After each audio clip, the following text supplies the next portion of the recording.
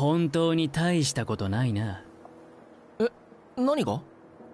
超能力のステータスは低いし戦い方も素人同然。なんで瀬戸さんもカレン連隊長もこんな奴をひいきするんだ？うーわシデン君よお前さんがリーダーに選ばれない理由ってそういうところじゃねえの？うるさい！僕は別にリーダーになりたいわけじゃない僕より劣る奴の命令を聞きたくないだけだ。人間性は劣ってると思うけど。黙れアダルト。おいユイトこの先気をつけろよ。僕が班長ならゴール近くの死角で待機する。どういうことだ？つまりフラッグを探し回るよりゴール前で奪い取った方が効率がいいってわけだ。ああそういうことか。でも訓練なんだし。おっと。おいでなさったぜ。重ねたちだ。やっぱりな。重ねならこう来ると思っていた。迎え撃つぞ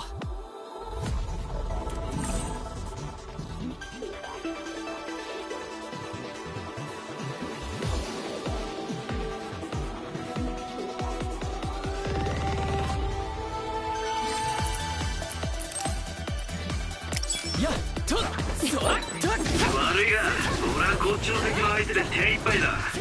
重ねは頼んだぜ。ユイと班長。同じくだ。僕も手伝えない。班長なら班長らしく自分で何とかするんだな。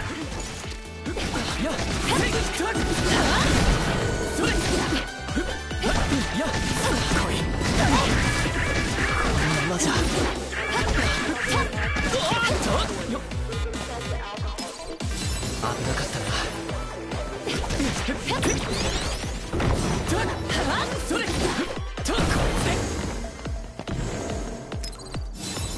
よし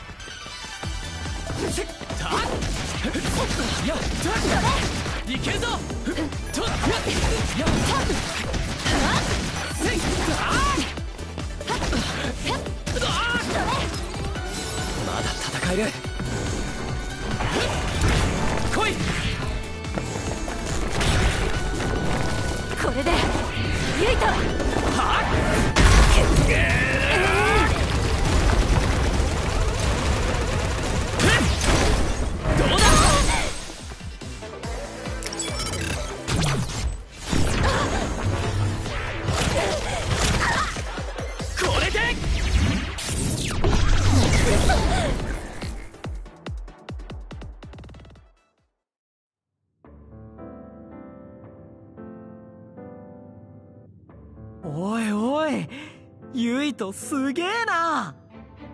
よくあの二人を制御できたな。見事だ。ユイトさんすごくかっこよかったです。いやーさすがユイト君難なく班長を務めてくれたな。今回は勝てたが僕はお前を認めないぞ。私の計算ミスだわ。ごめんなさい。花火つぐみううんうんうん。そんなことないよ。みんなの責任だもの。悔しい。ユイト正直言ってあなたを舐めていたわ。まさか超能力で負けるとは思わなかった。あうん。そんなにストレートな言われ方をするとは思わなかったけどよかったよ。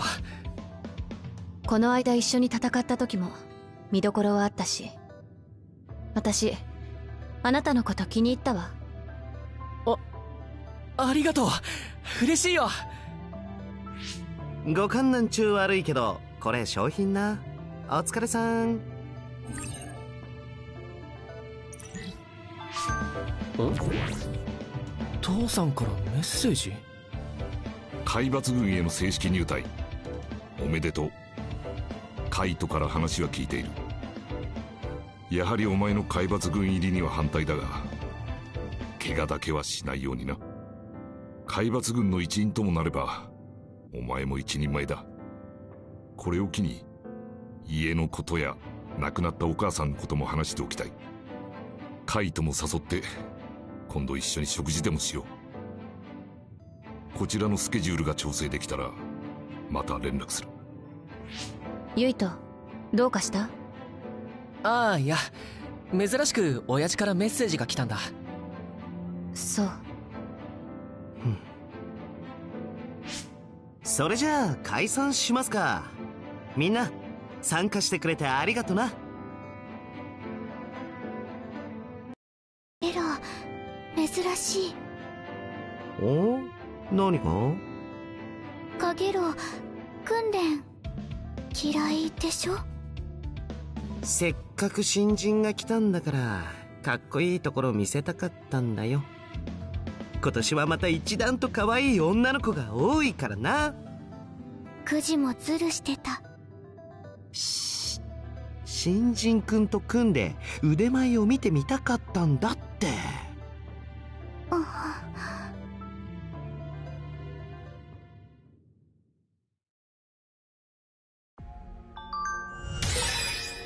り訓練の前にいつの間にかスメラギ漁に移動していたことが気になる。もう一度スメラギ漁に行ってみよう。何かを思い出すかもしれない。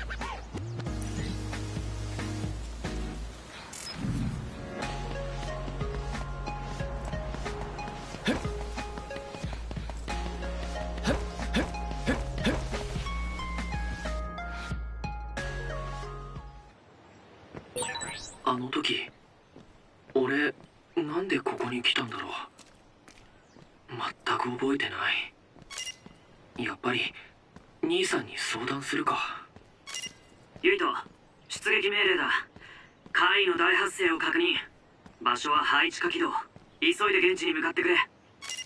わ分かった。ナギは？すでに配置下軌道へ向かった。そうか。ありがとう。すぐ追いかけるよ。仕方ないな。兄さんにはまた後で連絡しよう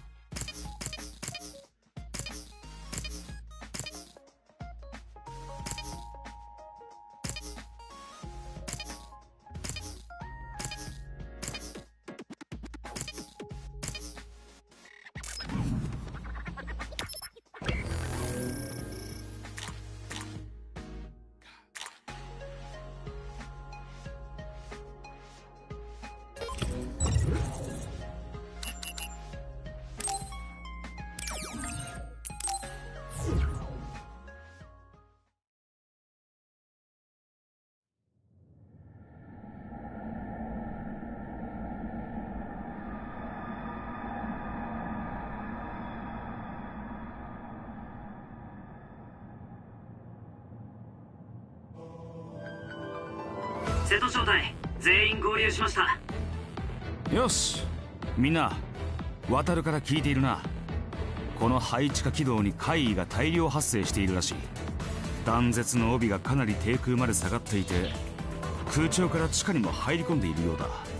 今さら説明するまでもないだろうが新人もいることだしここで断絶の帯に関して確認しておこう。断絶の帯とは何だ？ナギ。はい断絶の春によって発生したと思われる。異常現象です。その通り。地球の成層圏付近に滞留し地球全体を覆い尽くしている。怪異は断絶の帯で誕生し地表に降りてくることが観測されているから断絶の帯が濃い場所には近寄るな。どこから怪異が現れてもおかしくない。また断絶の帯には通信機能を遮断してしまう性質がある。もしそうなったら渡るのテレパシーだけが頼りだ。通信装置を使わないテレパシーだと俺が一方的に話しかけるしかできないからな。通信装置の機能が維持されるように祈っててくれ。というわけだ。みんな十分気をつけろよ。はい。今作戦は第1連隊第7および第8中隊第2連隊第1および第2中隊の合同作戦となる。最近ではかなりの大規模編成だな。勝手な行動は慎めよ。特にカゲロええ俺名指しかよ隊長。まあそんなにむくれるな。第1班は俺と凪と花火。第2班はカゲロウとつぐみとユイトだ瀬戸正体は先発する第二中隊を追う形で前進。ポイントアルファへ向かう。了解。はい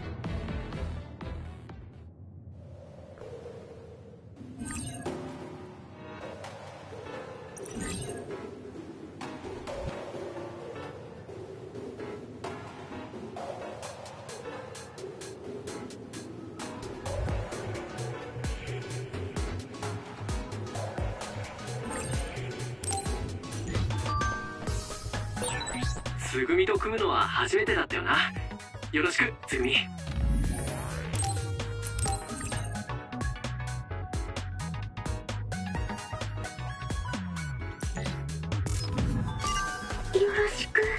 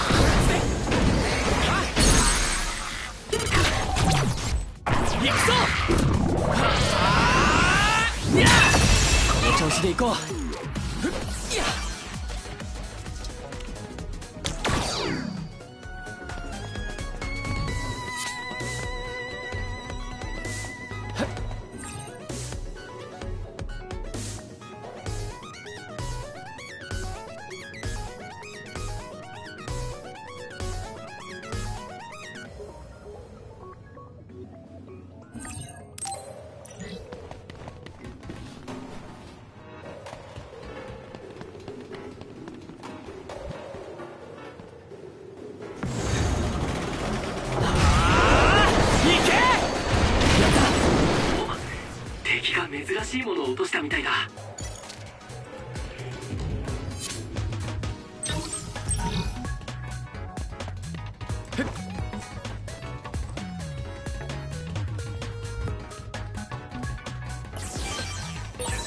これってかなりレアものじゃないか？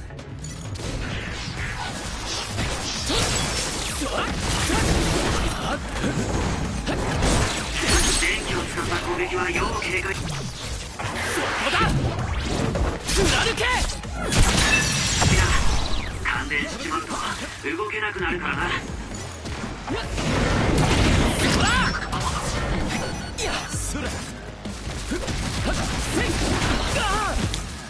よろしくかけろ。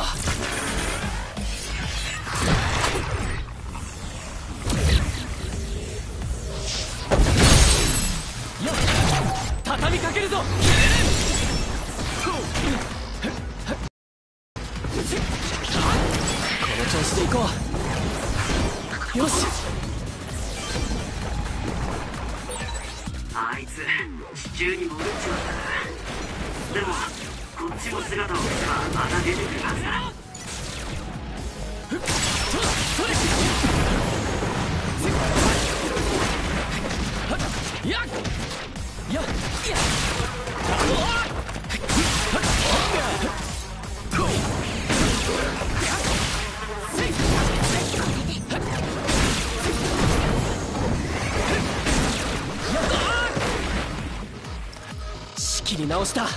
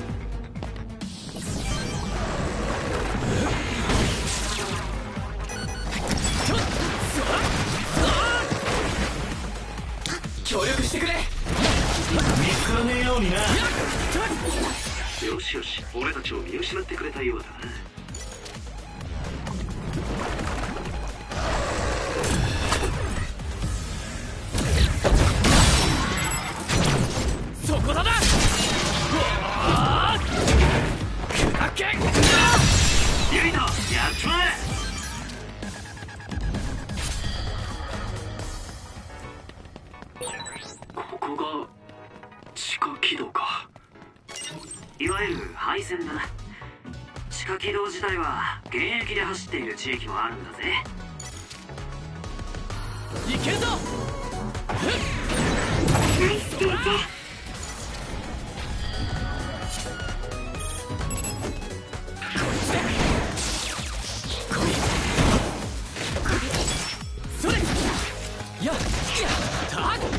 やった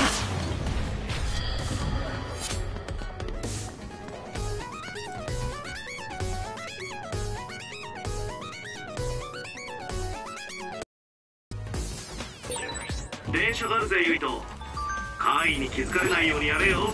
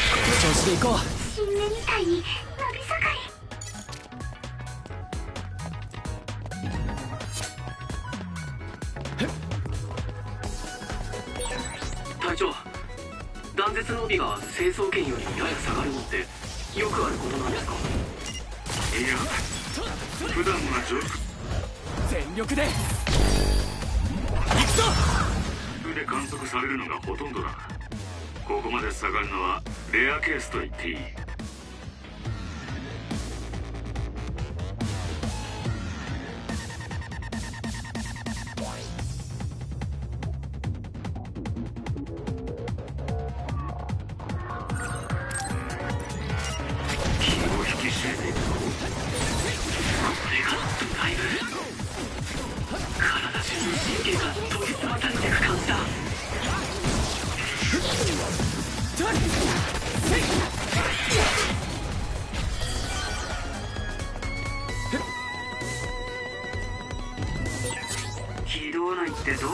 ような景色だからな。迷っちまわないように気をつけろよ。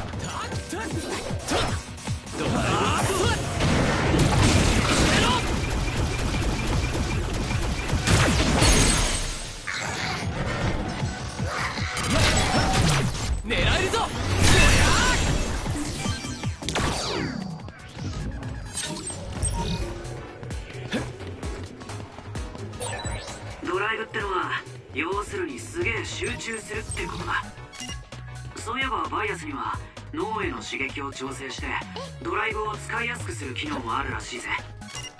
でもバイアスに頼るのは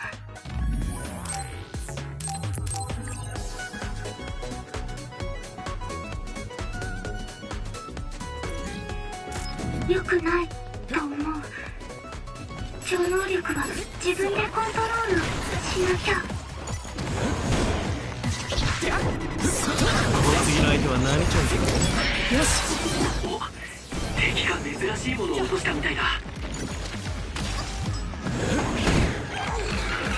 協力してくれ。それやっ来い。俺がやる。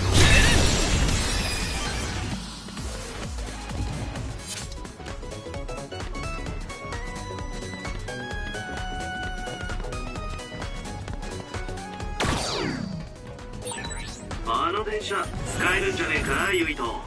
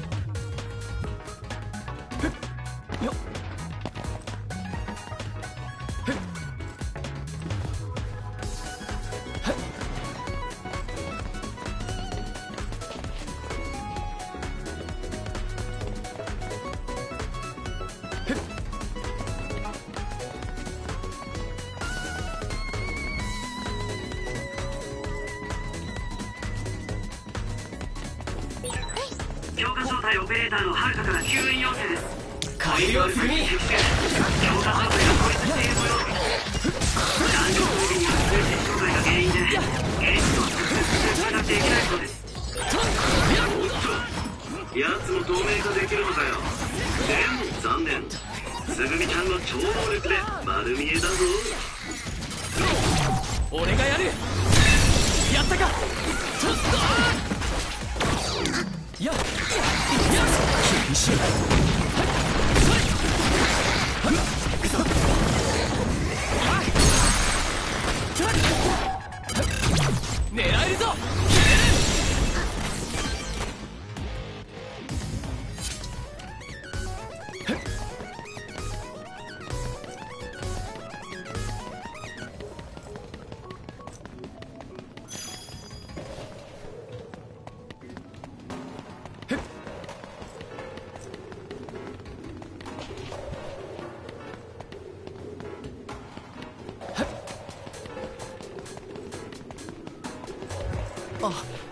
こっちに誰か来ます。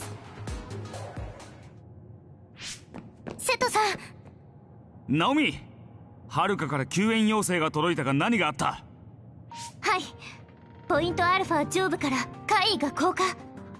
到着予定の他の部隊の姿も見えず玄馬隊長代理からも瀬戸正体に救援要請を出すように言われてきました。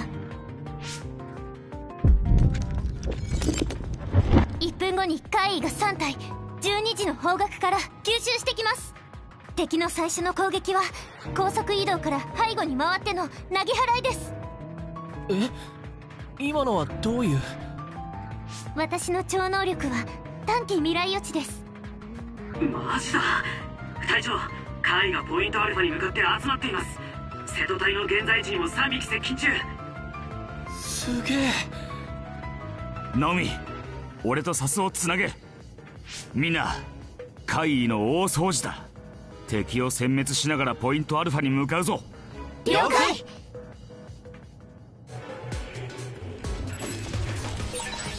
ナオミの超能力未来が見えるんだね。それって自分の意志で見られるの？はい。でもほんの少し先のことしか見えないんですけど。これよし。すごい超能力だねユイトさんにそう言ってもらえて嬉しいです。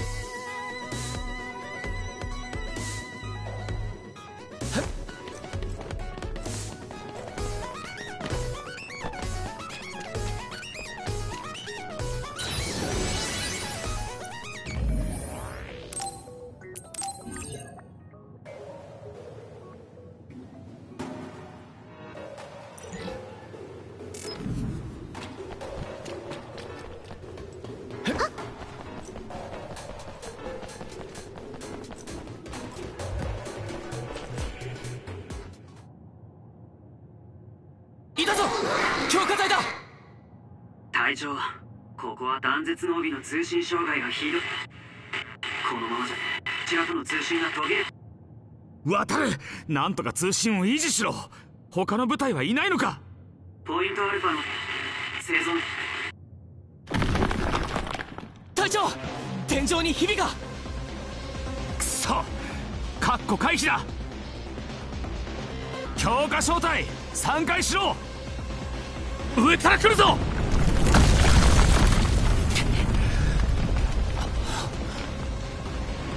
瀬戸隊長！さあ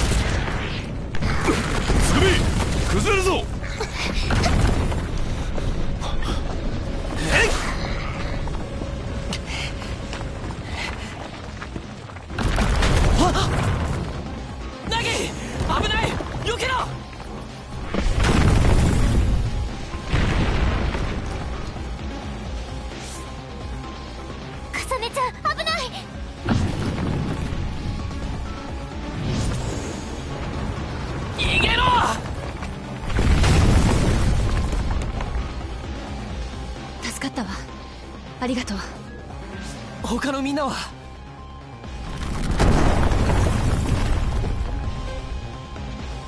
現場ギャリソンとつぐみナザール。無事だ。近くにあと二人いる。ユイト生きてるか？ナギ今どこにいる？瓦礫越しの隣だよ。ナオミちゃんと一緒。今 GPS を再起動する。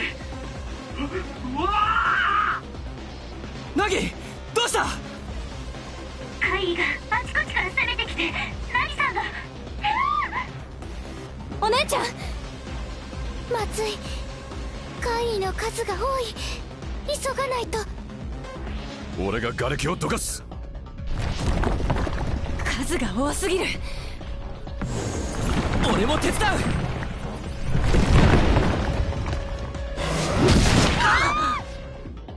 お姉ちゃんナオミお姉ちゃん大丈夫？大丈夫。ちょっと足を痛めたくらい。あいつ殺すわ。おい頭冷やせよ重ね。あいつを潰せば勝手に冷える。そっち任せたわよ。分かったよ。つぐみ了解。重ね大丈夫かさ花火は瀬戸隊長と一緒だと思うけど影郎をどうしたか心配だカゲロウなら自分で何とかできる。それより今は目の前の敵に集中まずは任されたこいつらを片付けよう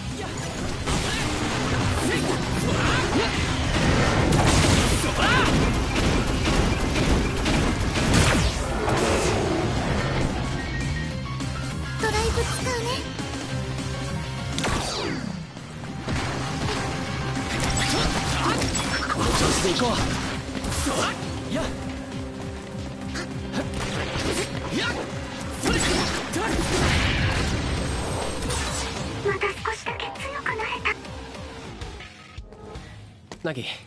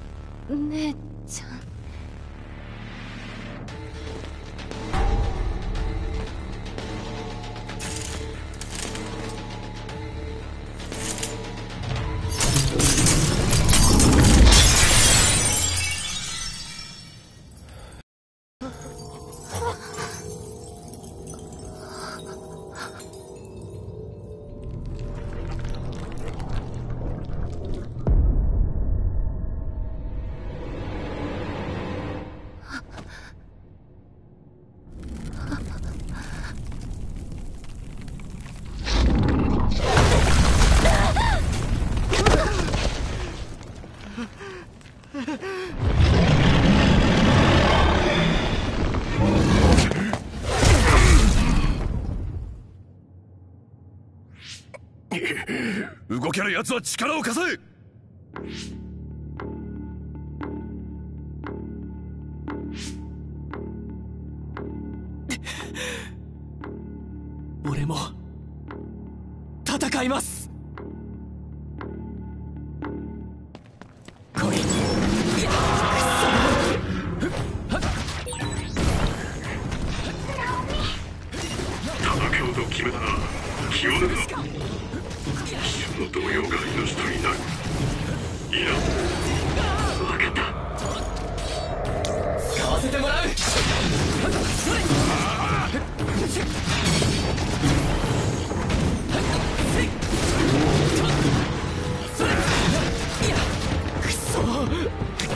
举个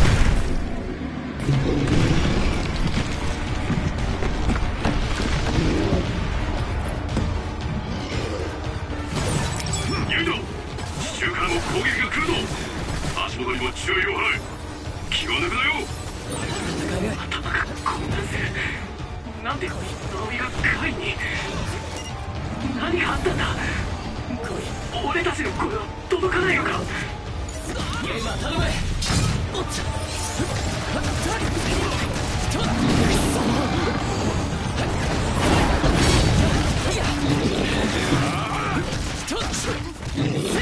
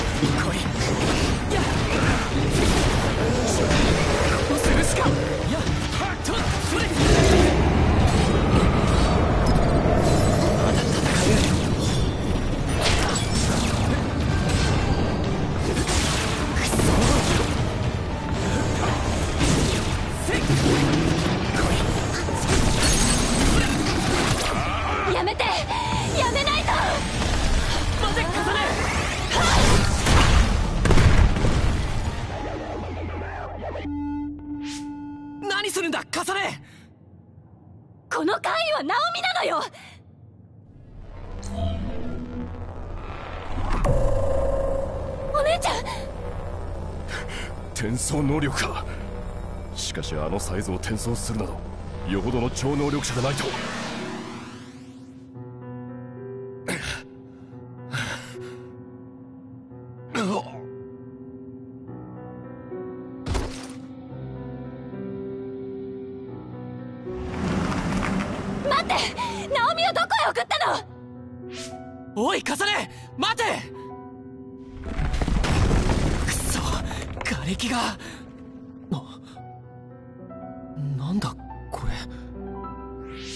プル。か。セイランの支障が入っているが。な なんだよ。今のは。ナオミちゃんが。ナオミちゃんが。ナギ落ち着け。落ち着けって。お前落ち着いてられるのかよ。あれは何なんだよ。俺だってわけわかんねえよ。わけわかんねえけどどうにかしないと。悪い。パニックを起こしてる場合じゃないよな。でもどうする？これから。この中で一番キャリアがあるのは。いや俺では無理だ。強化隊の指揮を預かっておきながらこんな状況を招くとは。ならこうしよう俺は重ねを追いかける。凪は前線本部に行って今起きたことを報告してくれ。俺だってユイタと一緒にえっその足じゃ無理だ。つぐみ凪と一緒についていってやってくれ。通信障害が起きてて本部に繋がらないみたいだから。分かった。ユイト気をつけろよ。凪もな玄馬。強化招待を扱ってたなら重ねはまだ玄馬の部下だよな。だから一緒に来てくれ。強化隊の責任者として。そうだな。了解した。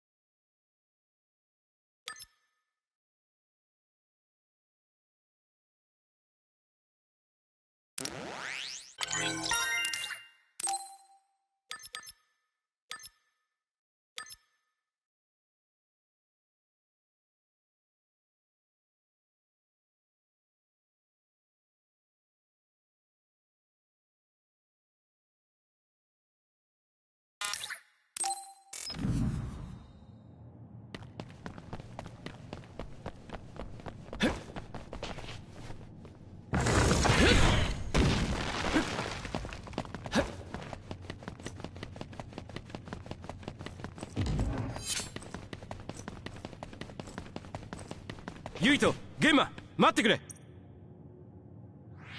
吹雪連隊長。二人とも無事でよかった。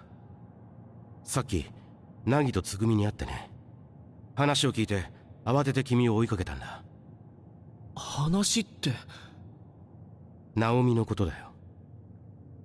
彼らにも伝えたけれど今回のことは決して口外しないように。口外するなってどういう意味ですか？言葉通りだよ。それが君たちを守ることにもなる。それとユイトここに来る時にアンプルみたいなものを拾わなかったかな。あはい。それはこちらで回収してもいいかな。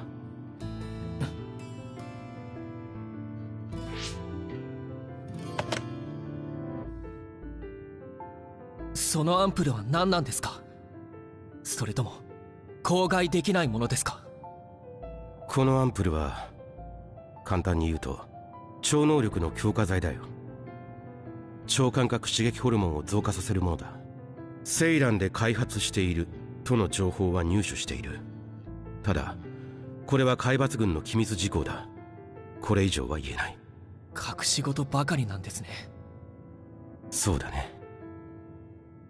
残念だけど人間が集まると色々な思惑が生まれてしがらみになるんだこんな窮屈な蜘蛛の巣には近寄らない方がいい。そういう配慮なんだと思ってほしい。とにかく二人とも一緒に安全な場所へ行こう。いえこの先に重ねがいるんです。ナオミを追いかけて。あの重ねが心配なんです。このまま探しに行って構いませんか？分かった。重ねにあったら彼女にも今回のことを口外しないように伝えてくれ二人とも無理はしないようにね。こちらも救援を向かわせるようにするから。それと前線本部は撤退する可能性があるから救援隊と合流できたら各隊のアジトで休むといい。それから改めてスオーへ戻ればより安全だからね。くれぐれも気をつけるんだよ。今日のことを黙っていることが俺たちを守ることになるだって。それに吹雪で隊長のあの落ち着きをナオミが怪異になったっていうのになぜ冷静でいられるんだ？